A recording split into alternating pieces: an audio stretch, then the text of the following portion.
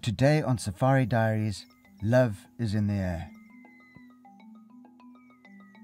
Lions are social cats, so it's not uncommon to see males and females together. Today is a bit different. The couples are ready to mate.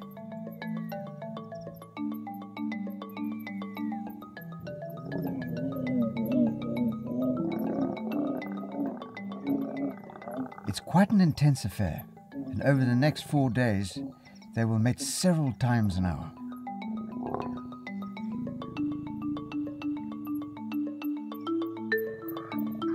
Join us again next week for another 60 Seconds Escape to Africa.